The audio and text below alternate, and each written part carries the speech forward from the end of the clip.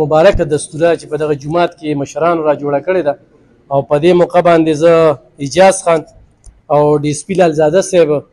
او ډاکټر سیراز صاحب ته خیرای تقسیم پیش کوم چې یو دوه کورونه یو دوه خاندانونه یو دوه رشتهدار بیا په خپلو کې یو کړل او دغه کې فریقین هم دلته کې موجود دي مصور شاه صاحب او دغه شانتې شانو کاکا هغوی هم موجود دي او دغه شانتې ظاهر شاله او عاصم او پهیم هم موجود دي نو مونځ مو شو دعا مو شوله مولانا صاحب ته لږ دغه کوم چې د روغې په اهمیت باندې څو خبرې وکړي سوچ هم دا وي چې دا بنگله جوړه کړې دا په سنګه رو غورځيږي او دا ته مسلې سنګه جوړ کو دا هم لږه موږ ته د افسوس خبره ده پیښور نه مشران رالل د موږ په علاقه کې رو وکړه ترای تحسین ورته پیش کو چې دوه کورونه چې کم دی غخپلو کې روغ کړل جګړه غټه وړه خدا غټه ترسي طرفګنې وي سېچو ګل مالک صاحب چې کم دی تاسو له خدای پاک یو ډېر تکړه سېچو سړیرو کې دا کړي ټول نوافلم کو چې دوام ورته کوي مورکه چې کومه ده هفته وړاندې وفات شوې ده نو چې ټول د دې ځای نه ځای نو چې په خپل دعاګانو کې خصوصي یاد وساتئ زمونږ د چارسدې ډېر خدمت کړی په کومه تاړه کې چې وخت تیر کړی دی نو دا غزې خلکو پسې بیا خپه دي نو تاسو هم خیال ساتئ او په خاصه توګه باندې زه بیا د اجاز خان او ډي سپي لال زاده صاحب ډېره زیاته مننه کوم او ډاکټر سیراز صاحب چې د دواړو فریقینو ترمنځ دا کور روغ کړ دواړه یو کړل خو د دې نه پس چې کوم دی موږ دا ټول چې ناست نو دا موږ د دې جرګې مشرانو ملاتړ یو د دوی مټ یو د دې نه پس چې دې کې څوک هم کوتاهي کوي سستی کوي او بیا هم د دې نه پس هم کینه ساتي بغض ساتي طرفګني کوي او د بل خبره اوري چې راغه پلانکی خودو وي او پلانکی خودو وي نو پکار د چې جرګې لراشي چې پلانکی پلانکی پکې دا د شیطاني او دغه شیطان دی ها چې شیطان دوی ویل به شیطان لز ورکې بل دله بل څه نه وي ستاسو کار دی چې یاره د مولانا صاحب ډېر خپل خبرو کړل چې په دې عمل کې به دروغ وي نو په کار چې هغه یو خبره ته په جذباتو کې رااله چې موږ یې په هغه انداز کې ونکو یاره پلان کې ډېر صفت کو او دا د جرګې د مشرانو کاری اکثر یو پریخ چې کم دین هم وخی یو پریخ ورته کنزل مو کې غوسه مو کې خو هغه خپل دغه چې کم دین په موټي کې نیولي چې زه به دا کور روم ګیندا دا زیرشاله چې کوم دی په دې کې رشتہ دارم دي خو غم ورسره چې زه د خپل رشتہ دار له غم ګورم او نه د بل رور له چې کوم دنو غم ګورم ناغه مثلا خو دې کې د دسخطو خبرې په کار چې هغه کې کوتاهی نشي چر سړی چې کم دنو په عدالت تزي چې هغه کې خپل ازوی چې کم دنو یقیني کی نو زه پریقانو کې یو پریخ چې ما چې خبرو کې لزازه صاحب او تاسو چې کم دي نو یو څو خبرې بو کېږي دواړو پریقانو یو بل ماپ کړی دي خو خبره پکې دا ده چې د دینه پس چې کم دی یو سړی د جرګي پاسداری نه کوي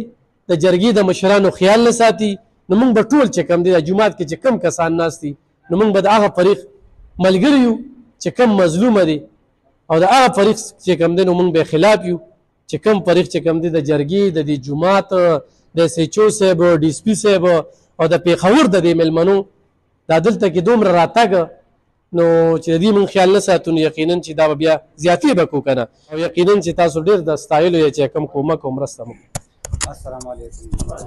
بس خبره خو علم خان به مولوي صاحب ډېر وضاحت سره وکړله خو تاسو ټول ته پته وه چې د دې معمولي غونډه کې خفګان وکنه نو په هغې کې زمونږ نه مخکې ډېر خواږه مشران ګرځېدلي وو د دې کلي علاقې امان خان پکې ډېره خواري کړې وه د چارسدې جان نثار خان پکې ډېره خواري کړې وه زمونږ یو درې نواب حاجي صاحب هغه هم پکې ډېره خواري کړې وه خو مونږ خاص طور د دوانو فریقینو شکریه ادا کوو چې هغوی جرګې له واک ورکړ. خپلې ګیلې مانې جرګې ته وکړې خو بیا د جرګې مخې له نه دي راغلې او جرګه په دې نتیجه باندې ورسېدله چې د دوانو فریقینو د الله د رضا لپاره یو بل معاف کړل. نو زه اوس په دې اقله باندې خپل ډي سپي صاحب ته خواست کوم له دغه کاته چې هغه راشي او د دې دواړو فریقینو شکریا ادا کړي او د هغې نه پس چې کوم دی دي ورته غاړه باسي که دې پړه کې معمولي او بل تاخیر یې مري چې هغه یو بل سره په مصافحه سره او په غاړه ورکول سره ختم شي نو زه تاسو ته خواست کوم تاسو راشئ او د دې دواړو فریقینو شکریا ادا کړئ جی چې دې زمونږ خاطر کو زمونږ جرګې ومنله اعوذ بالله من الشیطان الرجیم بسم الله الرحمن الرحیم زه ټولو ملمنو دراتک ډیره شکریا ادا کوم مونږ خو دونه نه یو خو مونږ چې کله دې کې قدم واغشتو نو لکه د شیخو امان خان یا د دې علاقې دا نور مشران چې کم دي نو هغوی په دې کې دومره محنت کړی چې دا کار یې مونږ ته اسان کړی خو چونکې د دې په منځ کې خپلو کې لکه رشته هم وه خو ورسره ورسره په رشته کې خفګانونه هم وو کله چې بیا موږ په دې کې کار شروع کو نو موږ د الله نه دا وغوښته چې ای الله ته موږ له کامیابي راکړې او موږ واخد یو دا نیت و چې موږ د دې دوو کسانو کور جوړ کړو څنګه چې مولانا صاحب ووي چې عرش په خوځي نو چې کله موږ د خپل رب نه وغوښته او موږ اراده کامله وساتله نو هغه رب موږ ته کامیابي راکا او د دې دواړو فریقینو په زړه کې زمونږ د پاره زمونږ د نیک تمنا چې کومه نیکه خبره چې کوم وه نو هغه دې دواړو تسلیم کا او دې دواړو فریقینو زه ډېره زیاته شکریا ادا کوم ډېره زیاته شکریا ادا کوم چې د دواړو فریقینو ته یو بل نه ډېرې زیاتې ګیلې وي او ګیلې داسې حد ته رسېدې چې هغه خورېدی لکه څنګه چې په افتدا کې د پخوانې زمانې د قبیلې جنگونه او خفګانونه او په قبیله کې به خورېده نو دا وایرس دا جراثیم چې نو داسې په خورېدو باندې وو نو موږ دا ضروري وګڼله چې دا زمونږ علاقه ده دا زمونږ د غم ښادی خلک دي دا دواړه په دې کې زما رونه دي زما دوستان دي بلکې زما رشته دار دي دواړه مې رشته دار دي ظاهر شاه مې رشته دار دی او مصور مې هم رشته دار دی بلکې تربوران یو سره خپلو کې نو موږ یې چېرې په داسې جاخو کې نښتي دي ولې نه چې دا موږ را بهر کو دي ته موږ سوال وکړو جولې ورته ونیسو خو زه یې دواړو ډېر زیات مشکور یم چې ظاهر شام زمونږ سوال د درې زمونږ د جرګې والا ومنلو او مصور دې زمونږ سوال ومنلو او موږ سره پوره تعاون وکړو خپل کور کې خیر راوستو نو زه وایم چې دا ټوله جمع چې ناسته ده تاسو ټول دا په زړه کې وایئ چې خدای دې دواړو فریقینو له دومره عزت ورکړي دومره عزت ورکړي لکه د دې علاقې د امن دپاره چې زمونږ خبره ومنله او موږ له څومره عزت راکړو نو اوس زه د دواړو فریقینو ته خواست کوم چې مصور دې دې اړخ ته شي او ظاهر شاه دې دې اړخ ته شي او اجاز اجاز دی به یو بل سره دا بغلګیر کې چې دا کم لګ ډیر خفګان پاتې دی چې دا د دې د سینې یو بل سره ملو شي او د زړه د خلاص او د زړه د دړکن کې هغه باقی خفګان هم ختم شي نواب علي صاحب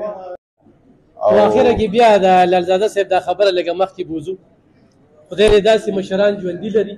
نن سبا څوک د چا کورونه غورې روغول کوم چې کم دنو لالچ وي دلته کې داسې جرګې راغلي دي